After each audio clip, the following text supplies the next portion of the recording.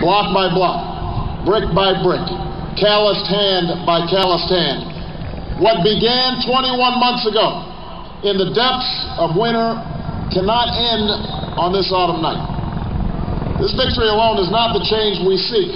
It is only the chance for us to make that change. And that cannot happen if we go back to the way things were.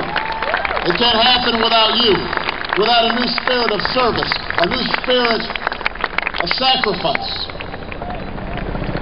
So let us summon a new spirit of patriotism, of responsibility, where each of us resolves to pitch in and work harder and look after not only ourselves but each other.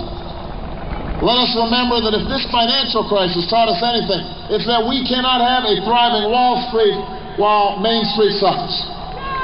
In this country, we rise or fall as one nation, as one people. Let's resist the temptation to fall back on the same partisanship and pettiness and immaturity that has poisoned our politics for so long. Let's remember that it was a man from this state who first carried the banner of the Republican Party to the White House, a party founded on the values of self reliance and individual liberty and national unity. Those are values that we all share. And while the Democratic Party has won a great victory tonight, we do so with a measure of humility and determination to heal the divides that have held back our progress.